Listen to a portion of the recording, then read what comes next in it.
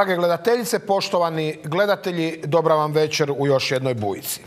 Izuzetno zadovoljstvo mi je večeras u našem studiju pozdraviti bivšeg saborskog zastupnika, gospodina Damira Kajna. Gospodine Kajn, dobra vam večer, dobrodošli u Bujicu. Dobro večer, pozdrav vašim gledateljima.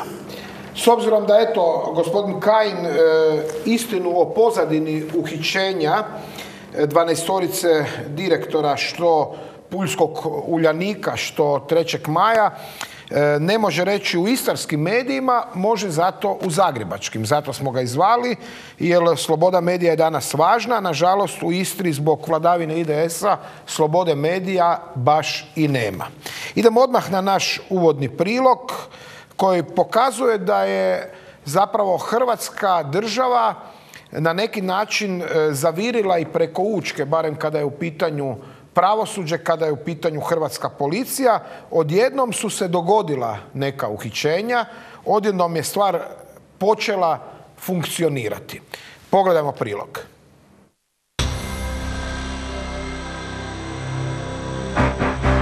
Hrvatska je napokon pokazala da je država i s one strane Učke. Uhićenja direktora Pulskog uljanika i Riječkog 3. maja možda nisu stigla na vrijeme, ali ipak ostaće zabilježeno da je tijekom mandata Andreja Plenkovića povučen jedan dobar i do sada nezamisliv potez. Ono što je sigurno da sve ove aktivnosti provode kao što ste vidjeli iz priopćenja i PNUSKOK i nadležno državno odvjetništvo i oni taj svoj posao koliko sada vidite, a i ja zajedno s vama rade više mjeseci, pretpostavljam vrlo temeljito i u jednoj složenoj tematici koja nije nimalo jednostavna. I dok mnogi traže odgovor na teško pitanje, stečaj ili restrukturiranje, ključno je ipak otkriti gdje su nestale milijarde iz Uljanika – Hrvatska bespovratno gubi milijarde milijarde kuna. Svi su se digli na zadnje noge kad su e, govorili o cijeni borbenih e, aviona koje je Hrvatska htjela nabaviti, a ovdje se radi o višestruko većem iznosu, a gledamo na taj novac e, onako olako gledamo gubljenje tog novca. Zbog jučerašnjih uhićenja u panici su i lokalni politički moćnici, naročito vrh IDS-a. Ukoliko netko od uhićenih direktora povezanih s Uljanikom propjeva, mogli bi saznati i tko je sve primao kuverte te milijunske donacije za političke kampanje. Neka se račisti. Ko nije kriv, on će izaći kao čista, ako je kriv, onda neka odgovara za to. Ako sad se ne pokaže namjera, odnosno dijelo s kojim će se ipak sankcionirati one koji su do sada radili protupropisno, protuzakonito, e, ja pitam kako onda poruku šaljemo za budućnost. Znači, radi kako te volja, čim više možeš raditi e, protuzakonito, to bolje za tebe. Mi ne želimo tako nešto i želimo tako nešto spriječiti. Jakovčić, Miletić, Flego i ekipa do sada su se od ozbiljnih optužbi za kriminal branili skretanjem pozornosti javnosti na ideološke teme. Iz IDS-a uvijek imamo nekakve ideološke teme, uvijek se spominje, na primjer, Blajburg u negativnom kontekstu, dok se ove teme koje su e, jako važne za malog e, istarskog čovjeka, za onoga radnika u brodogradilištu u Rijeci, u Puli, to toliko nije bitno. Dakle, ne bi se čudio da će i opet sada izaći s nekakvim ideološkim temama, da se e, prikrije ovo jedno stvarno, jedno nečuveno događanje u, u Istri, odnosno u Uljaniku i Trećemaju. Sada im više nitko ne vjeruje.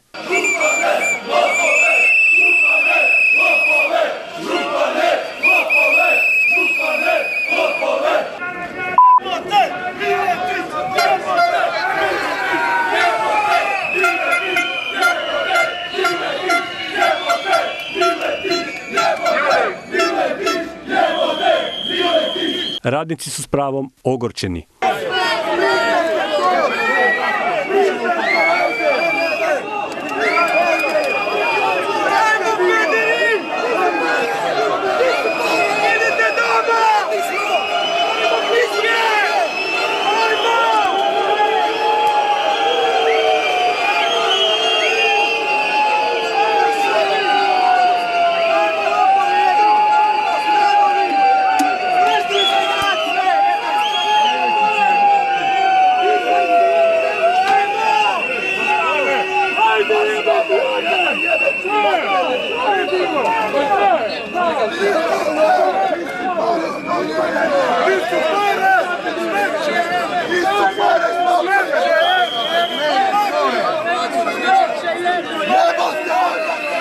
Gađali su lopove jajima i zalijevali ih vodom. Ne, nemojte.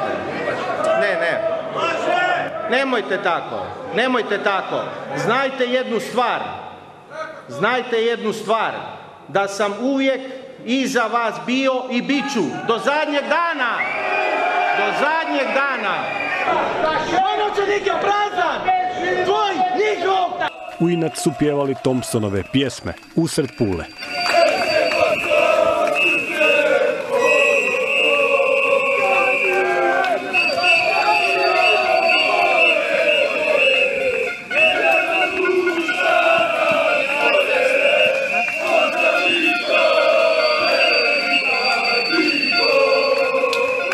U velikoj akciji uhićenja 12 bivših čelnih ljudi Uljanik grupe sudjelovalo je više od stotinu policajaca. Od kada hrvatsku policiju u Istri vodi nekadašnji šef specijalaca Alen Klabot, Poverenje u tu instituciju naglo je poraslo. Drago mi je čuti da su se počele stvari razvijati, da se počelo rješavati ono što smo već pozivali dugo vremena. Nadam se da će s toga ipak nešto se dogoditi i da će neko odgovarati za nastalu situaciju. Ipak, kada je u pitanju državno odvjetništvo i naročito sudovi u Istri, mnogi su pesimisti glede moguće konačne odgovornosti uhićenih privrednih kriminalaca.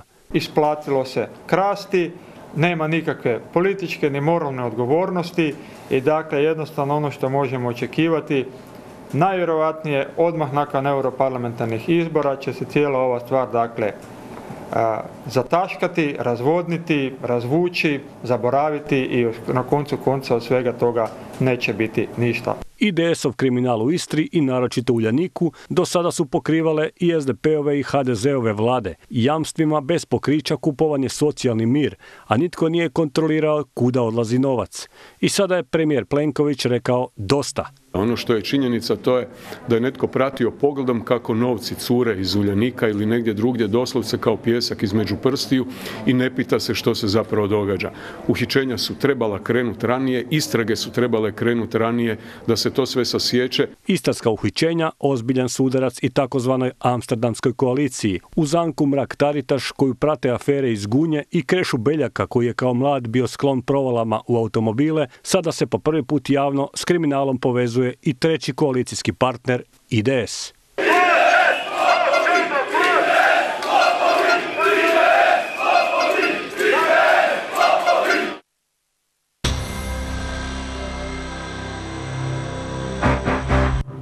Jeste mogli, gospod Kajin, e, ikad misliti kad ste bili davno, davno u IDS-u da će jednog dana e, građani na ulicama Pule vikati IDS lopovi? A pazite, šta da vam kažem, meni je zbog svega toga žao. Prije svega što se dešava sa Uljanikom. Meni je, ja sam rekao jučer u jednoj televizijskoj emisiji, između ostalog i stid. Ja se osjećam poniženo. Osjećam se poniženo kada gledam što se dešava sa našim Uljanikom, kada gledam što se dešava sa Pulom, kada gledam što se dešava sa Istrom. I jučer sam rekao, krivce za ovu situaciju koja se dogodila u Uljaniku, samim time u Puli, ne treba tražiti u jednom buzetu ili Zagrebu, nego ga trebaju tražiti, eto, u ekipi, ali to nije vrh, da se razumijemo, ovaj, e, koju imaju prilike gledati svako večer na televizijskim ili na televizijskim e, tim mrežama. Isto tako sam rekao, ako se ne sankcionira i pojedince koji su u politiku ušli bez jedne kune, a danas su teži od 2, 3, 5 ili ne znam koliko milijuna eura, u Istri sreće neće biti. Mislite na pojedince u Istri?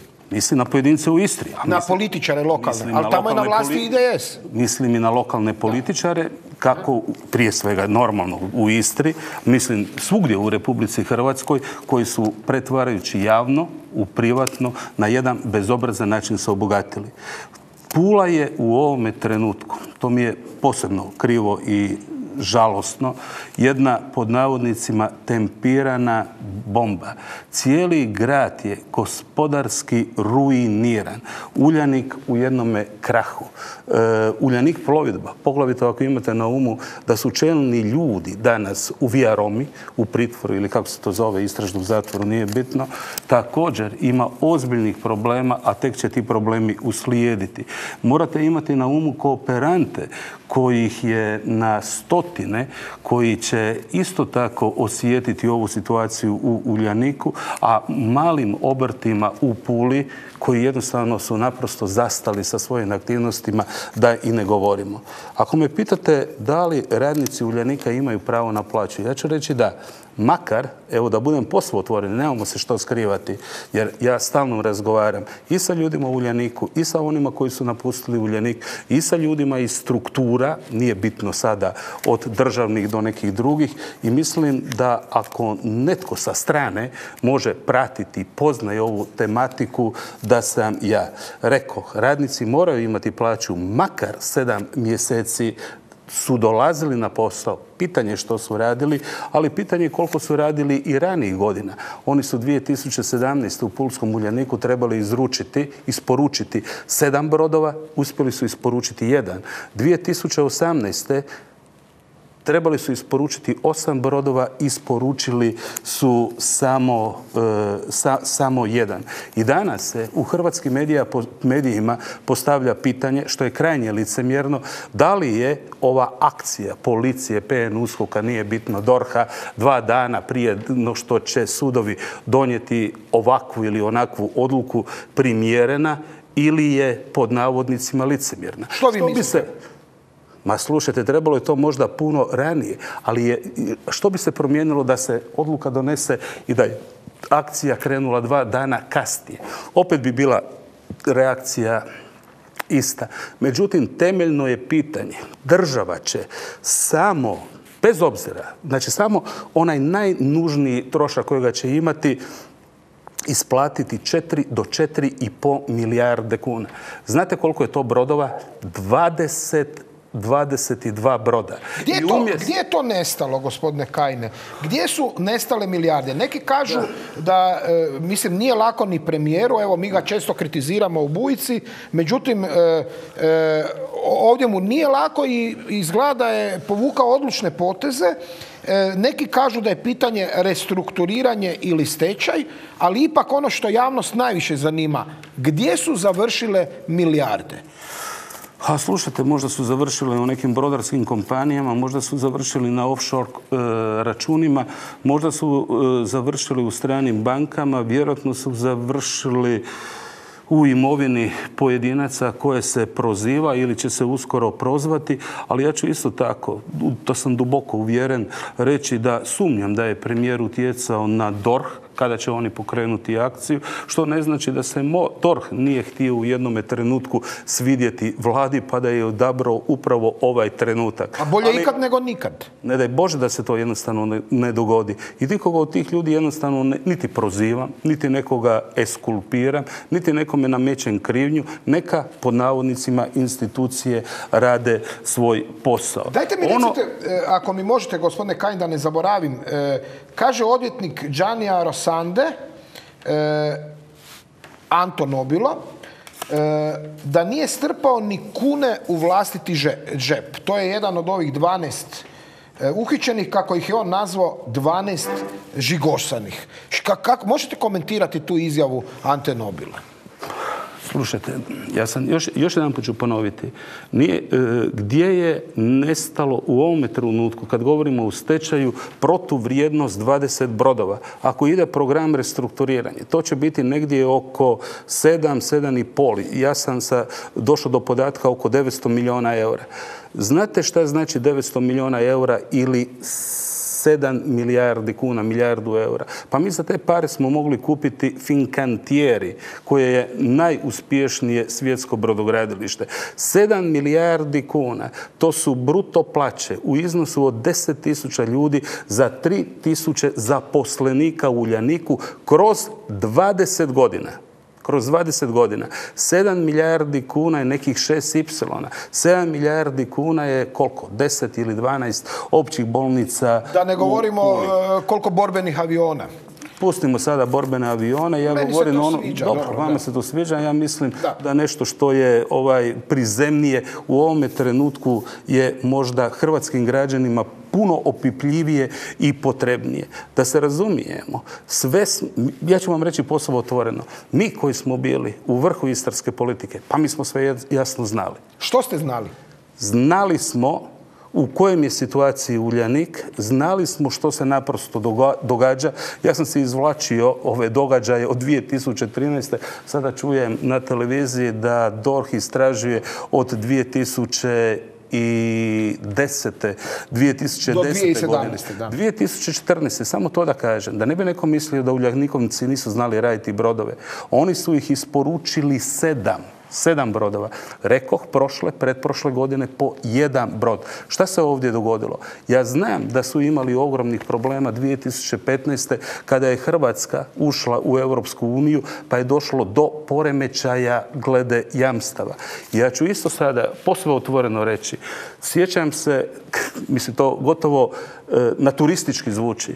Ovaj, klali smo prasa u Kajinima, išao sam nešto uzeti u štalu i negdje oko devet i pol nazove me Rosanda i kaže slušaj, razgovarao sam sa Miletićem, razgovarao sam sa Jakovčem i oni hoću, ali ti si bolji sa Milanovićem. Daj, nama treba jamstvo za ovaj jaružar u iznosu od nekih 150 milijuna eura. Čekaj, čekaj, ja znam točno kako sam... Vi koljete prasa, ovaj zove radi 150 milijuna. U subotu, 150 milijuna eura. Čekaj, sam rekao, Džani, 150 milijuna eura, pa ne znam, to je milijardu, 100 milijardu, 200 milijuna, e, milijuna kuna. Da, bez toga ne može opstati ovaj brodogradilište. Što je napravio? Što ste vi napravili? Što, momentalno sam zvao pričekao da se Milanović probudi, kažu da se nije budio prije 9 i pol, 10 sati i nazvao sam ga i slušaj, imamo takav i takav problem. Zamislite da ste ga ranije probudili, da. ne bi vam dao, ovako ste pustili, bili ste lukavi da odspava i onda ste ga išli ovako, da, da. Prema tome, da li smo mi znali, da li smo mi u to na neki način bili involvirani? Apsolutno. Sve što sam radio, mislim da sam radio kako bi se pomoglo i brodogradilištu i Puli. I čekajte, Milanović Milanović je sad, ne ovo vas e, mora pitati, je li Milanović odobrio jamstva? Milanović nije odobrio ništa, nego su odobravali Vrdoljak i Lalovac. Dobro, jesu li, je li Milanovićeva vlada odobrila? Apsolutno da je odobrila. Sad vas moram pa nešto, ne, ne, sad ću ja vas, ne, ne, samo malo. Sad vas moram nešto pitati onako e, zdravo seljački, kako se to kaže. E, ako sam sad ja jamac za kredit, za kupnju auta nekom prijatelju, pa ja ću sto puta provjeriti jel taj moj prijatelj ima primanja, jer ima posao, jel, e, jesu ta primanja dovoljno e, dostatna da, da, da može otplaćivati. Da ne bi ja sutra morao kao jamac otplaćivati umjesto njega. Pa kako je moguće da se na ovakav način dodijeli jamstva? Otplaćivati, ne, ne, nije se to dijelilo baš na takav način. Ali evo, rekli ste da ste zaklali svinju i, i nazvali Milanovića. Ne, ne, bila je to subota, ljudima je to... E, zašto ne bi zvao? Ne, pa u redu, ali... Zašto, zašto ne bi ali zvao? jamstva se ne ne, ja sam, Ono što sam ja tražio, isto da se to provjerava. Taj brod čini mi se da je u visokoj fazi dovršenosti. Ipak su napravili negdje oko 80%. Da, ali taj brod je u Ljaniku, koji je bio procijenjen na 150, ili ugovoren za 150 milijuna eura, do sada donio 130 milijuna eura. I država se je obvezala sada prema naručitelju doznačiti im još negdje 22 milijuna da se brod dovrši. Taj brod je kondicio sine qua non opstanka Uljanika uz ovaj kruzer ovoga Australca, taj e, polarni kruzer. Ja molim prije svega sindikate, pustite kooperante koji dolaze iz Ukrajine i drugih zemalja da taj brod jednostavno dovrše. Jer ako se to ne dogodi, ne da će oni biti su odgovorni ili odgovorni sami možda za guranje Uljanika u stečaj, nego će biti odgovorni za guranje Uljanika u likvidaciju. I sada, što sam ja između ostalog radio? Ja mogu reći da sam tamo 2001 otpisivo potraživanje Uljaniku. Ne znam, 65 milijuna kuna zajedno sa Žufićem, Župićem, Radolovićem. Ja mogu reći da sam i tekako lobirao da 33%, Viktora Lenca pripadne Uljaniku. 33% ili 34%. To je bilo u vrijeme Sanadera. To je bilo u vrijeme Sanadera i tu se Sanader maksimalno korektno postavio i u vrijeme njegove vlade, zašto bi ja nekoga napadao, samo tako, je taj Viktor Lenac izvučen iz probleme. Gdje počinju sada problemi Viktora Lenca? Kada dolazi do preuzimanja Lenca od strane Palumbo grupe iz Napolija. Taj ulazak, tu transformaciju vlasničku nam je najavio pred godinu i pol dana Jakovčić i ja sam si u sebi pomislio, uvijek sam govorio da nećemo biti Sicilija i Kalabrija, eto sad su nam došli napolitanci, biti ćemo kompletni, barem dole u Istri. Zašto sam to pomislio? Zato jer sam znao da je da su vlasnici Palumbo grupe, protiv njih je pokrenut kazneni postupak u Italiji i pred možda dva mjeseca otac i sin koji su preuzeli Lenac osuđeni su na šest godina dana zatvora. Nepravomoćno. Međutim, nije to najveći problem Lenca. Najveći problem Lenca je taj što je 2017. poslovao sa 35 milijuna kuna dobiti, a prošle godine sa 21 milijun kuna ovaj gubitaka.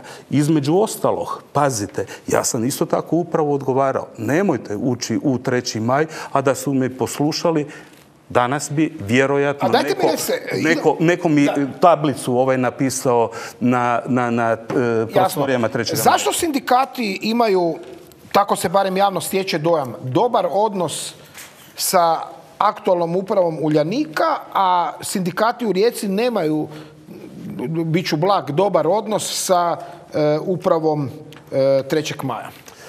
Slušajte, imam normalno e, prilike razgovarati sa jednima i sa drugima.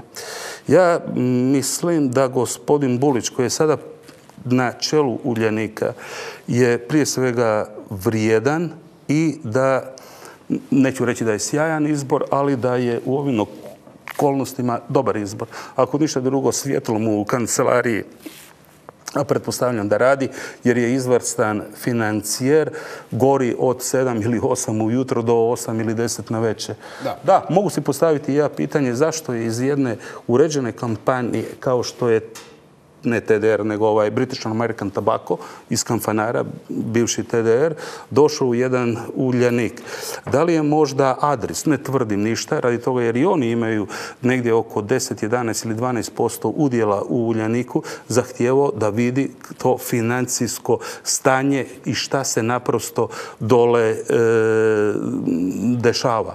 Iako mislim da je i kolateralna žrtva Adris, oni su kupili Croatia osiguranju i zajedno sa Croatia osiguranje su došli u posjed nekih 10% dionica ovaj, e, Uljanika. Međutim, kada su imali onu skupštinu, mislim, ja sam se digao na zadnje noge, čak sam mislio, tamo negdje u desetom mjesecu, obrati se predsjednici Trgovačkog suda u Pazinu, gospođi Adriani Labinjan, pa ne, nemojte, nemojte mislim, ovaj, dopustiti da kompletan ili nadzorni odbor čine de facto predstavnici e, sindikata. Pa jedan uljanik sa takvim problemima, pa znate koliko je tamo ovaj kandidata kandidiralo za, e, u tu upravu, za taj nadzorni odbor? Možda 30-40, pa jedna Amerika nema 40 eksperata koji bi jednu takvu posrnulu tvrtku mogli jednostavno restrukturirati, sanirati ili u stečaju preoblikovati a, kamo, a, kamoli, e, a, kamoli, a kamoli recimo u jednoj puli.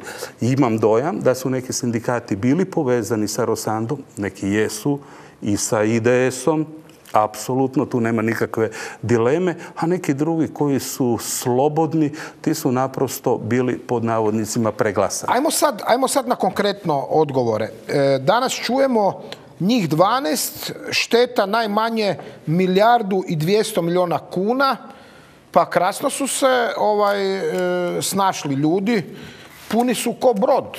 Da, a brodova nema. A brodo, puni ko brod, a brodova, nema. Dobro brodo, brodovi, brodovi Ali kaže, kaže Nobilo da nitko ništa nije strpao vlastiti džep i još kaže da su žrtve političkog e, montiranog procesa. Što vi kažete? Je li to 12 žigosanih ili je to 12 ja, Ja neću ja ovaj govoriti... Ja sam postavio pitanje. Ne, ja, ja prije svega mislim da je Uljaniku pričinjena enormna šteta.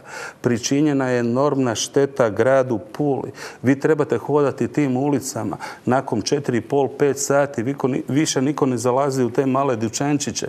Ljudi jednostavno nemaju novaca. Mnogi koji rade u tom Uljaniku su naprosto gladni, iako će netko reći da oni proizvodni radnici trgovci, cijevari, varioci, ne znam, vodoinstalateri koji rade na brodove, električari su već davno u Italiji, Njemačkoj ili negdje drugdje. Pa se postavlja pitanje da li uopće imamo ljudi koji danas mogu isprojektirati i koji mogu napraviti ovaj e, brod. Dajte mi još tu na jedno pitanje, govorite tamo, kažu mi e, lokalni ljudi da, da tamo preko puta e, e, Uljanika ima Tehnomont, to je jedno mlado uspješno brodogradilište, oni traže radnike, ne mogu ih naći. Kako je to moguće? Tehnomont je otprilike, to je dobro vođeno E, dobro vođeno malo brodo, brodograđevno poduzeće. Na čelu je gospođa Deronja koja je unut, e, ujedno i predsjednica gospodarske komore Republike ili udruge poslodavaca, nemojte me sada hvatati za riječ, Republike e, Hrvatske. Oni su valda podijeljeni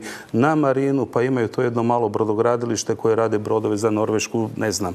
Ali to je, to je doista malo, ja ne znam koliko... ne mogu dobiti radnika, ne mogu kažu ljudi da, da, da, boje se da će ostati bez posla. Ima, čini mi se, možda 100 ili 150 radnika koji rade na nekim e, objektima u Saveznoj Republici Njemačkoj. Pa prvu stvar da sam u toj izvršnoj poziciji znajući šta će se dogoditi u Uljeniku, a te podatke su i župan i gradonačelnik morali znati još tamo negdje 2016. kako su se prilike odvijale, pa valjda bi se našao sa svim tim poslodavcima i pokušao napraviti jedan jak socijalni program, a ne se baviti mačkama iz kruga Uljanika. Ko se bavi mačkama iz kruga Uljanika? Mm, kažu novo, naš novi ovaj, e, veterinar. Ovaj, e, tamo u onome... Čekajte, koji veterinar? Ne, bavi se gradska vlast grada Pule. Mislite na Miletića? E, mislim na strukture grada. Tamo u Puli... Znači, ne, ne, ne, ne. Izgleda da Miletić će biti veterinar ako, ako, ako ne bude više gradonačelnik nakon svih ovih to mu, je, to, e, to mu je nadimak. Neće biti veterinar. Aha, nadimak. Ne želim... Znači, bave se... A dajte mi ne, pojasnite. Da moramo to Šta je to sterilizacija mačaka u Uljaniku? Ajmo biti e, u, u Uljaniku imate negdje oko 300, šta ja znam, 400, koliko je tih mačaka, ne znam, ali u svim tim radionicama... Toliko mačaka? toliko mačaka na jednom mjestu. Tamo ste imali negdje oko 2600 ljudi u najboljim danima. Sad ih imate oko 1600. Ljudi ne mogu više sebe prehraniti. A kamoli da će još hraniti e, te mačke. Mačke počinju bježati po puli, ulaze u ove kontejnere, rade štetu, škodu, bimo rekli. Mi jednostavno dole. I mi u dobro. I sada su odlučili to jadno blago ovaj, ne kastrirati, nego kako ste rekli? Sterilizirati. I ono što mene možda ovdje u ovom trenutku najviše muči, gdje su te udruge za zaštitu životinja da niko ne digne glas? Protiv, Miletića. Ne protiv Evo, mrak Miletića, se pobuni, neka skine koaliciju radi mačaka. radi, pa radi pa mačaka. Ali pustimo sada Pa ne, zamislite da je 400 mačaka u pitanju u Zagrebu, ja vjerujem da bi Bandić sve prevrnuo naopako. A, a tamo, tamo čak zlostavljaju jadne životinje. Da sad ne govorim o onom fenomenje tih životinja u Istri. Znate, imamo i tok medu. Neću sad vas uspoređivati s medom. Vi ste platili veliki ceh tužbi radi vašeg govora, a u Istri je toliko su rigorozni sudovi za klevetu da negdje kod Vodnjana, ja mislim u Peroju, je i pas Medo bio kažen da ne smije lajati. Šta onda možete vi očekati? E, ovaj, vjerojatno jedna od boljih stvari hrvatskog pravosuđa je što se drugostepeni postupci ne rješavaju u onim ili pri onim županijama gdje se odluke donose, gdje odluke donose prvostepeni sudovi. Pa smo eto, ne znam gdje se vodio taj drugostepeni postupak, došli u situaciju da su pomilovali, da se tako izrazim, rehabilitirali ovaj jadnoga e, medu. Ne, u Istri ne možete govoriti prije svega zbog toga što su mediji zakupljeni. A nije ni čudno, nije ni čudo, zato jer e, struktura lokalne vlasti godišnje za medije u Istri izdvaja tu približno 7, 7,5 milijuna kuna. Mislite na IDS? Da je milijon eura godišnje? Mislim da je Županija Istarska, dok je Jakovčić bio župan, izdvajala godišnje od milijun i 200 do milijun i 400 tisuća kuna. A zašto, ste vi, zašto je vas Danko Končar e, tužio, gospodine Kajin? Zašto me je on tužio? Ispada da ste ga svojim nastupima zapravo potjerali od e, pa, ja, pa, e, pustimo sada to. On je mene tužio zbog jedne rečenice, po meni apsolutno benigne, ali u tome ćemo i kako progovarati pred e, sutkinjom.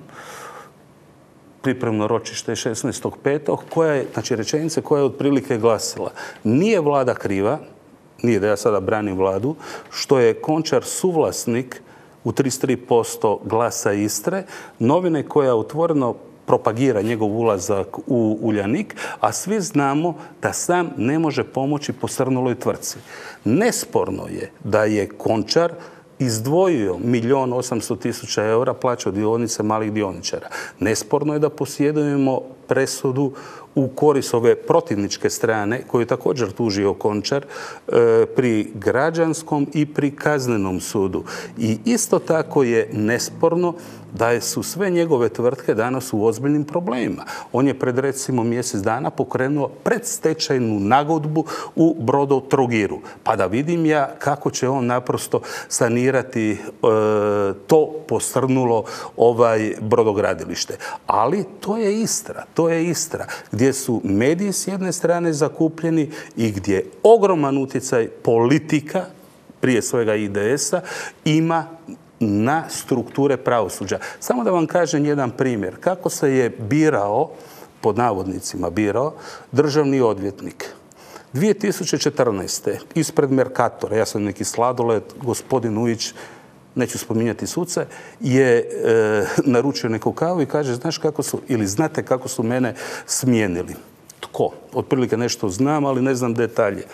Kaže, ovi iz IDS-a, ne znam da ti nisi u tome sudjelovao, jedan visoki dužnosnik IDS-a hodao je od kancelarije do kancelarije sudaca i nudio im mjesto šefa državnog odvjetništva u Puli. Ja imam doma zapisano u kojim je sucima riječ. Kad je to bilo, gospodine Kaj? Mislim, nemojte me hvatiti za riječ, šeste, sedme, možda pete godine, nije bitno. Ali, e, Sjeća se dojam da je, moram vas sad to, zašto, zašto sam vas to pitao? Nije, nije to... Sjeća se dojam da još od vremena Sanadera pa do Milanovića e, se na neki način kupovao socijalni mir, pa i oko brodogradnje, da je država davala jamstva bez ikakvih kontrola i da je sve kulminiralo propašću. Sve kulminiralo zapravo ovim uhićenjima koja možda i nisu zadnja pa, prema našim informacijama. Pa, da, šta će biti s ovim uhićenjima to ćemo vidjeti, ali vjerojatno će se sporovi voditi deseta godina, pa onda pitanje kakva je i to e, pravda. Samo da ne bude selektivna pravda. A ono što ja isto tako očekujem da će sada na red doći i mnogi kooperanti i da ta šteta koja se spominje od milijardu 200 milijuna kuna u konačnici treba isto množiti puta dva, puta tri ili ne znam koliko. A dajte mi recite, e, još sam vas htio pitati, e, sve ćemo stići.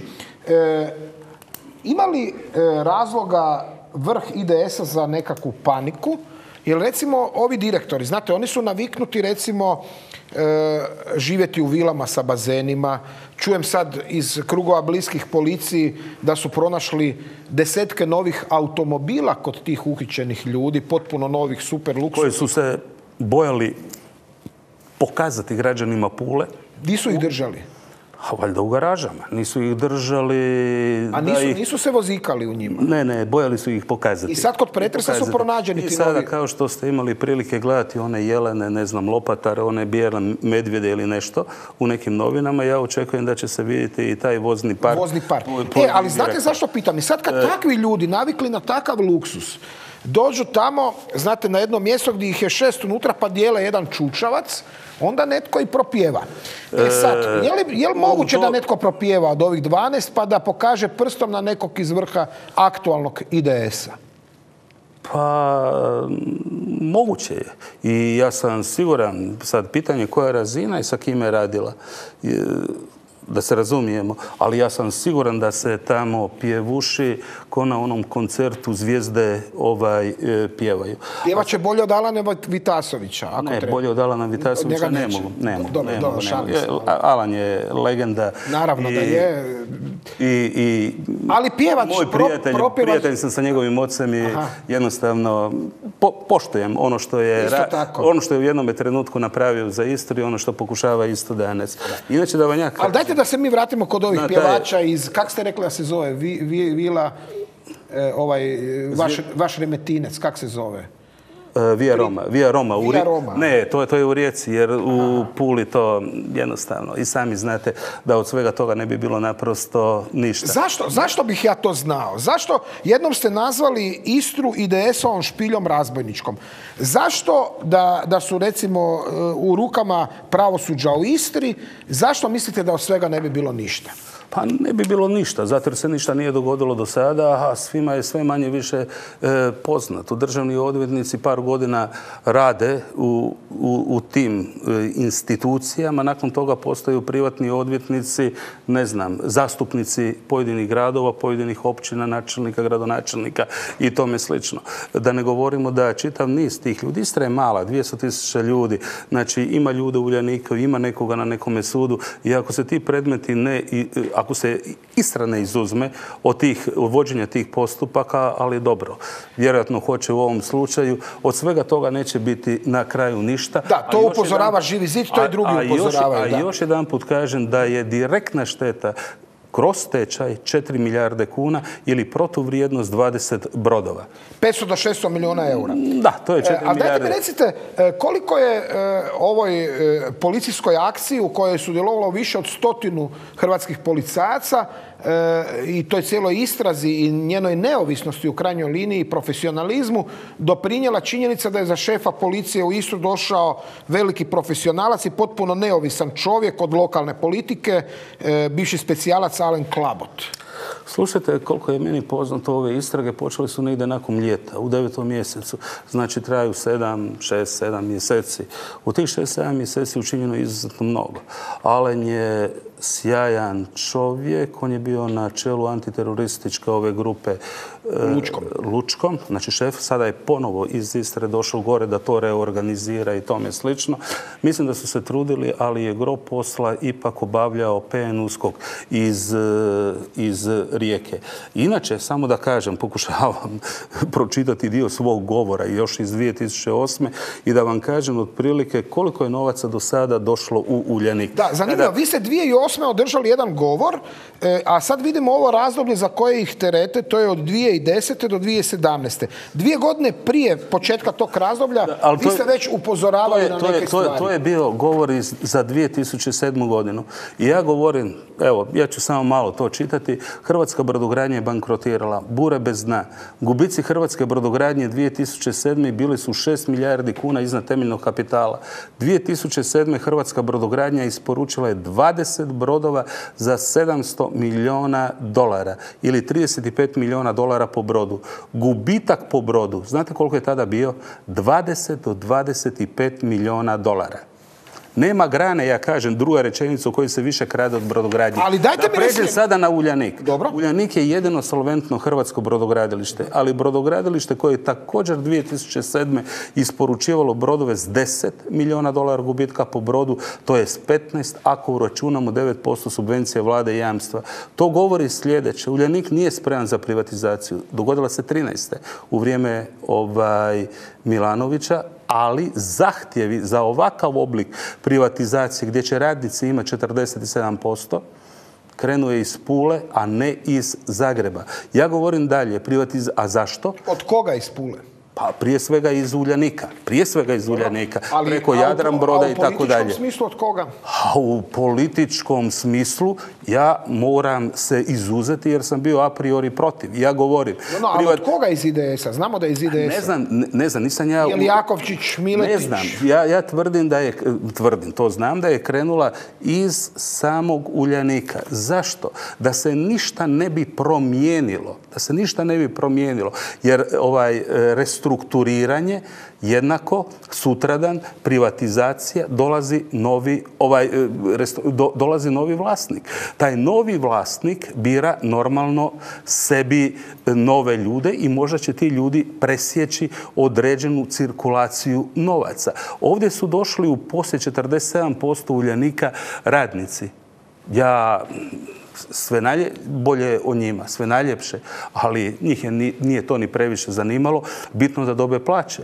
Kako su oni otplaćivali dionice? Tako da su im digli plaće i sa tom razlikom uplaćivali dionice, tako da je još dublje probleme upadalo samo brodogradilište i onda se je vlada potrudila da u Uljanik uđu i mirovinski fondovi, da uđu, e, ne znam, Croatia osiguranje i tako dalje. I samo da to dovršim. To govori sljedeće. Uljanik nije spreman za privatizaciju. Privatizaciju Uljanika treba reći ne. Priče da se to može izvršiti preko radnika, menadžmenta grada, Pula, Županije, Istarske su najobičnija obmana. Nemojte na to nasjedati. Niti radnici, niti grad Pula, niti Županija ne mogu preuzeti odgovornost za Pulu. Ja onda govorim o gubicima i tako dalje. E, tko će biti za privatizaciju ovakvog huljanika sa 742 milijuna kuna gubitaka? Nitko. Sada se i tako dalje i govorim, volio bih da se varam, ali te privatizacije se silno bojim i želim da Istrijane shvate da sam 100% protiv iste jer nam neće donijeti dobra. Nije da jednostavno nismo znali. Znači upozorili ste 2008. Ma, upozorao sam ja i prije toga jer sam imao, normalno da sam imao dobre odnose sa ljudima koji su bili na čelu uprava. E, mislim, e, nemojte misliti da Miletić ili Jakovčić ili Flego nisu imali još i bolje, jer su bili u izvršnoj vlasti. Miletićeva kancelarija je 25 ili 35 koraka od Uljanika. Ne 40 koraka, 35. Dođu, mu vikat pod prozor. Idemo sad... I onda ima problem sa mačkama. Ima problem sa mačkama. Idemo na reklame.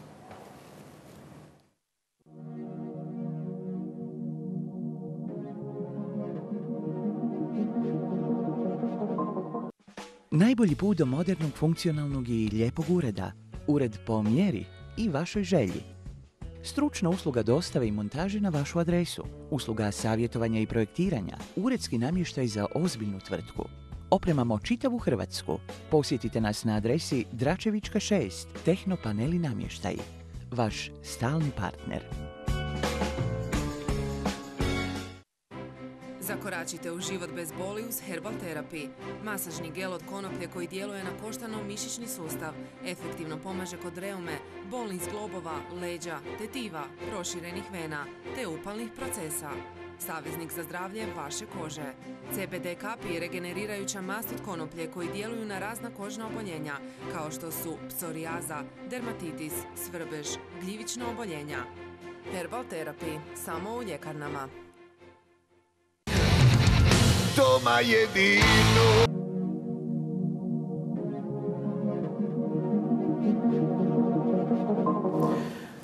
Eto nas natrag u studiju Bujice, gost je Damir Kajn, pričamo o Uljaniku. Gospodine Kajn, u Šibeniku ima jedno brodogradilište, zove se NCP, E, rade izvozne poslove, zapošljavaju ljude, traže nove radnike, teško imenač radnike, imaju problema, htjeli bi uvesti radnu snagu, država ne da, a kod nas ljudi bez posla pa ne žele raditi, e, imaju apartmane, znate kako to ide u Dalmaciji, e, dovoljno im je raditi dva mjeseca na cijelu godinu. Oni izvoze brodove Norvežanima bez jednog jamstva. Ništa od vlade, ni lipe. Kako je moguće da tako jedno brodogradilište funkcionira, a da ovdje trebaju jamstva? Mm, treba učiniti distinkciju, prije svega između te velike brodogradnje koja je svugdje u svijetu manje više ovaj, u nekim programima potpora i treba učiniti distinkciju od ove male brodogradnje koja je sjajna. Nije to samo brodogradilište iz Trogira. Prije ste spomenuli Tekop. Rekao sam i Šibenika, da. Pardon, Šibenika, svejedno. E, ima tih brodogradilišta i na Rabu, ima, ih u Puli, ima ih u, Fažani. Prema tome, ima tih malih brodogradilištima u koji muku muče sa radnicima. Zašto se ne preorijentirati na to? Zašto država nema tu strategiju, takvu politiku? Pazite, rekoh malo prije. E, zašto nema takvu strategiju? Pa bolje, rekli smo ovdje, ovdje je u pitanju 2600 ljudi.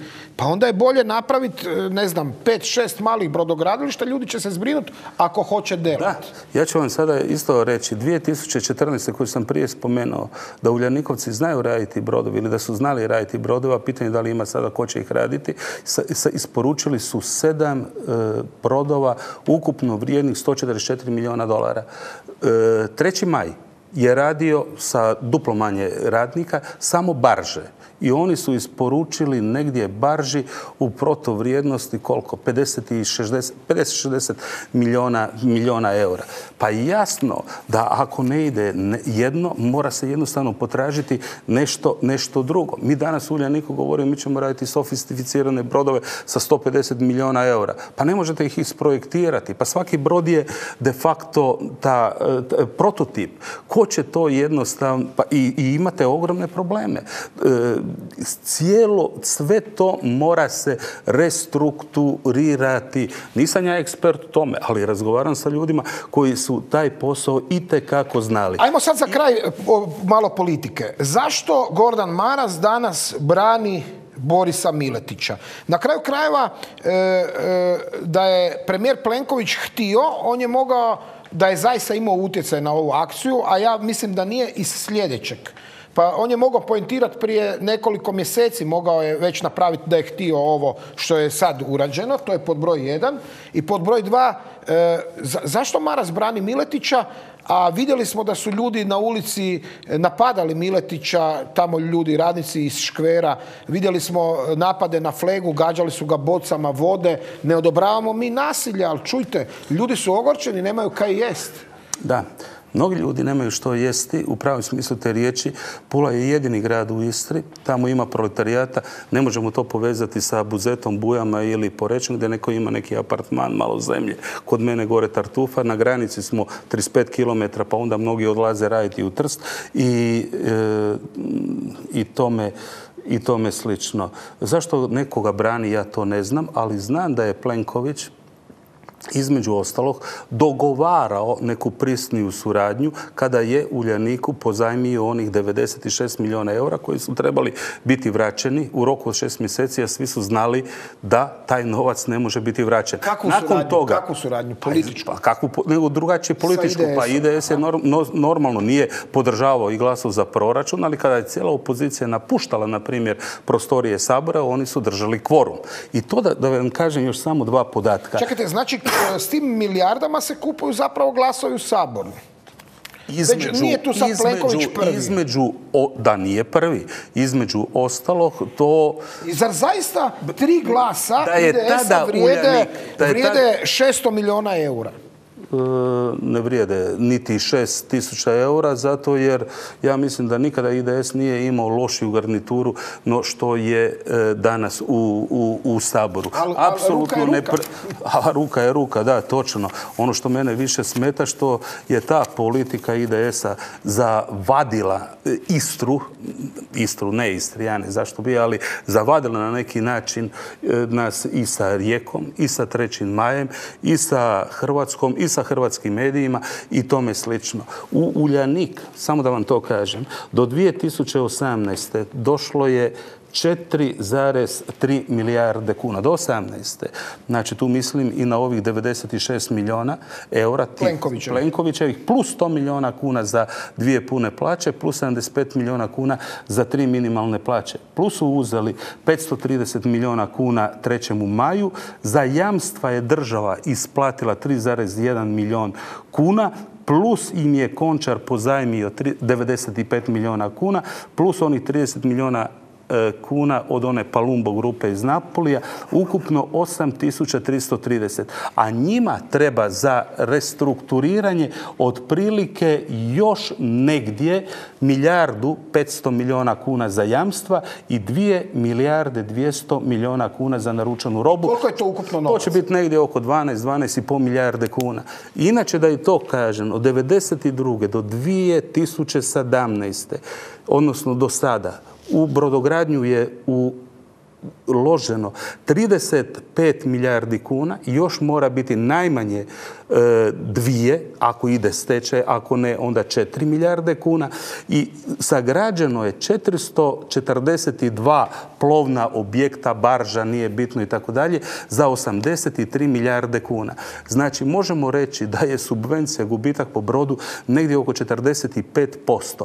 A ono, kada su mi računali financijeri, koliko je 31,7 milijardi kuna od 90-ih preko 2000-ih do sada, oni su rekli da bi to bio ekvivalent negdje oko 60 milijardi kuna. Sad mi se zavrtilo u glavi, ali e, gospodine Kajn, kakve su političke posljedice?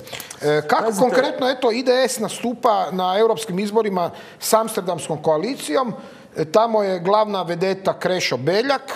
Neću sad govoriti o tome po čemu je on poznat, ali ću, jer je već smo vidjeli u prilogu, ali ću reći recimo da imamo Anku Mrak Taritaš koja se proslavila u Gunji, E, imamo sad i IDS, vidimo e, s, s ovim Uljanikom i mnogim drugim Pazite, aferama. kada- kada smo mi- Ka- kako oni misle dobiti glasove od ljudi kad su tako nepošteni? Kada smo mi krenuli baviti se to politikom, ja mislim da nije bilo poštenije političke grupacije na političkoj sceni Hrvatske. Nitko ništa nije imao, bili smo spremni zbog toga sve žrtvovati jer smo znali da nećemo ništa izgubiti. Danas, ako ja gledam pa gotovo svaki drugi načelnik gradonačelnik koji ništa nije imao, ima 2, 3, 4 milijuna eura i nije im dosta. I nije im dosta. Međutim, kako se vlada Istrom? Ne, ne, ne, ali Vjerojatno još nije drugačije ni drugdje. Pa vladate prije svega preko proračuna. Ukupna masa novaca, proračunskog novca u Istri je negdje kojim raspolaže lokalna samouprava oko 5,5 milijardi kuna. Vi u Istri, mi u Istri imamo oko 19 tisuća ljudi u nadgradnji. Vodovoda, državna uprava, zdravstvo, policija, nije bitno. 11 tisuća plaća isplaćuje lokalna samouprava, negdje oko 7 tisuća država. I, rekoh malo prije, kontrolom e, medija. Nije bitno drugačije ni drugdje, ali onda vi idete u izbore, ovi će dobiti 51%, vi ćete dobiti 48% i nemate zapravo ništa. Da, a, a da- dajte mi se, ovo mi je zanimljivo. Vi ste došli u Bujicu danas i hvala vam na tome. E, e, bili ste jučer u Vinogradu i, kako kažete, na Maslinama.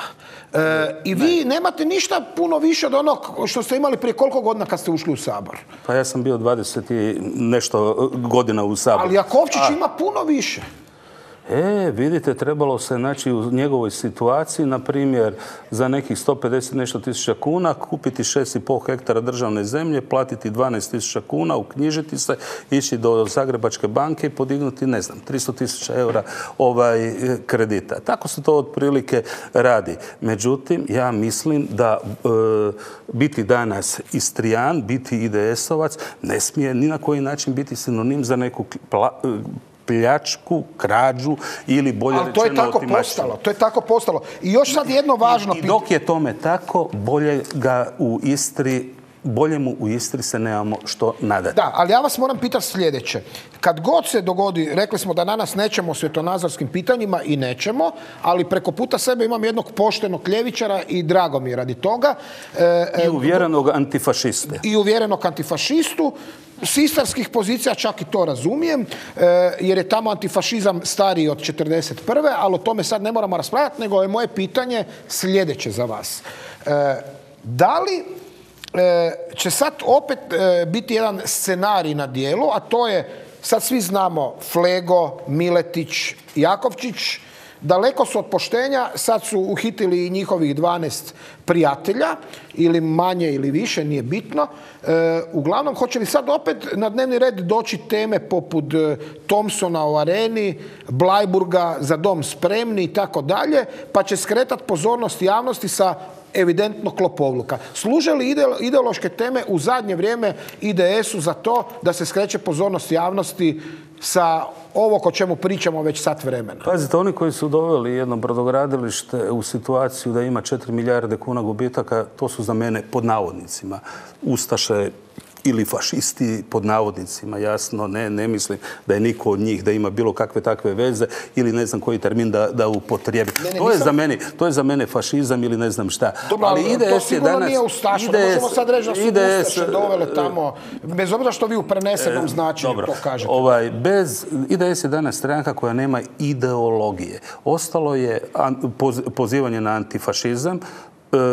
To, su odredbe u programskoj deklaraciji koje sam ja osobno vlastitom rukom pisao i ostale im je ovo, e, ove priče o e, decentralizaciji. S time da 2000, recimo 13. godine u državni proračun je Istra uplaćivala ide 700 milijuna kuna više nego se vraćalo. 92% je ustajalo ili se vraćalo.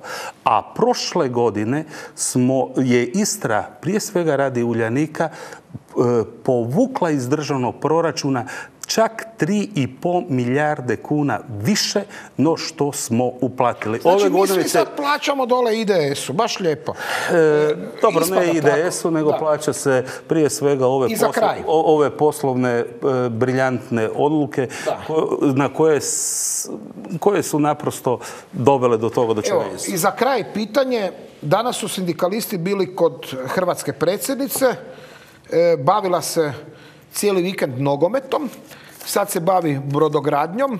Hoće li ona uspjeti riješiti s obzirom na njene velike ovlasti i, i, ovaj, dobru volju, hoće li ona uspjeti riješiti ovaj problem. E, sve, sve karte su sad, e, ovi polažu na kolindu, to je ovaj... Da, a pred koliko nepunih mjesec dana dva dana je bila u Maškarama. Ajde, Maškare se dešavaju u Rijeci, pa imaju ona pravo na slobodni vikend. Pa bože moj, pa nemojmo na to zamjeriti. Dobro, dobro, dobro, čekajte, hoćete reći da su ovo bile maškare sad gore? Ne, nisam rekao da su ovo bile maškare. Ovo je jedna ozbiljna priča, tamo ima radnika, tamo je ima i sindikalista, tamo je bilo nekoliko članova nadzornih odbora, ovih struktura koje vode ili su dovele Uljanik u ovu situaciju. Tamo je bilo jedno e, miješano društvo. Ja želim vjerovati da ona ima senzibilitet, iz rijeke je, nije bitno gore. E, ovaj, tamo je 3. maj i razumljivo da iskazuje određeni interes, a koja je njena moć, e, o tome će, to će vrijeme pokazati. I, eto, probili smo termin. E, što će se dogoditi sutra kada je u pitanju e, kada će se odlučivati o stečaju 3. maja, odnosno preksutra kada bi se trebalo odlučivati o stečaju Uljanika. Naravno, vi niste vidoviti, ne, ne, pošto pa ne znate, pošto sam ja legalista, Dobro. i pošto vjerujem u hrvatsku pravosudnu neovisnost, biti će onako kako će sutkinjama dojaviti premijer ili neki od njegovih pod navodnicima tajnika. Hvala vam lijepa gospodine eh, Kajin na gostovanju. Vratite se vi maslinama i... i, i... Nećete vjerovati, 15 dana svaki dan, 4-5 sati obavezno ili u Vinogradu ili u Masliniku. I nije me da mi baš ni Zagreb, niti politika previše nedostaje. Ali šta ćete, ne Hvala vam od srca, mi smo vas pozvali zato jer ste, eto, apsolutno bili dosljedni glede ove problematike i bilo mi je drago, mi se svjetonazorski ne moramo slagati, ali se slažemo u tome da treba iskorijeniti lopove iz Istre i cijele Hrvatske. Iz cijele Hrvatske i da lopova ima i na ljevici i na desnici. Apsolutno. A oni nisu niti Istrijani, niti Hrvati, nego su upravo ono kako ste ih okarakterizirali. Lopovi. Hvala lijepa gospodine Kaj. Hrvatice i Hrvati, bilo je ovo sve za večeras. Vidimo se u petak u još jednoj bujici. Tema će biti europski izbori. Do widzenia.